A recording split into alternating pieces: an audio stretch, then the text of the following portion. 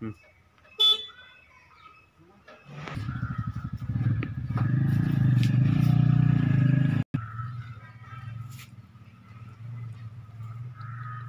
ಅಣ್ಣ ಹೋರಿ ಎಲ್ಲಿ ತಂದ್ರಿ ಇದು. ಎಷ್ಟಾಯ್ತು ರೇಟು? ಇದು ಎಪ್ಪತ್ತೈದು ಸಾವಿರ ರೂಪಾಯಿ ಖರೀದಿ ಆಗಿರೋದಣ್ಣ ಹೋರಿ. ಚೆಟ್ಟು ಕಟ್ಟಿರೋದು ಇನ್ನು ಎರಡಲ್ಲಾಗೈತಿ. ಟ್ರಾನ್ಸ್ಪೋರ್ಟ್ ಚಾರ್ಜ್ ಎಲ್ಲ? ಅದೆಲ್ಲ ಎಕ್ಸ್ಟ್ರಾ ಮೈ ಮೇಲೆ ಅಣ್ಣ ನಮಗೆ. ನಿಮಗೆ ಬಂದು ನಾವೇ ಎಕ್ಸ್ಟ್ರಾ ಕೊಟ್ಟಿರೋದು ಟ್ರಾನ್ಸ್ಫರ್ ಅಲ್ಲಿ ಖರೀದಿನೇ ಎಪ್ಪತ್ತೈದು ಸಾವಿರ ಆಗಿರೋದಣ್ಣ ಅಣ್ಣ ಎರಡು ಅಲ್ಲಾಗೈತೆ ನೋಡೋಣ ಇದನ್ನು ಸಣ್ಣ ಕರ ಇದ್ದಾಗೆ ಪಾಸ್ ಆಗಿರೋದು ತಮಿಳ್ನಾಡಲ್ಲಿ ಪಾಸ್ ಆಗಿರೋ ಬರೀ ಇದು. ಏಯ್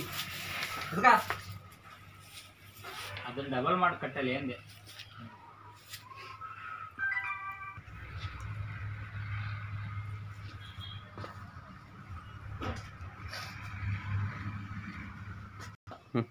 ನಿನ್ನೆ ಮೊನ್ನೆ ಎಲ್ಲ ಬೇಡ ನಿನ್ನೆ ಬಿದ್ದೇವೆಲ್ಲ? ಹಿಡ್ಕಣಕ್ ಹೋಗಿ ಅಣ್ಣ ಇದನ್ನ ಅಣ್ಣ ಹಿಡ್ಕಣ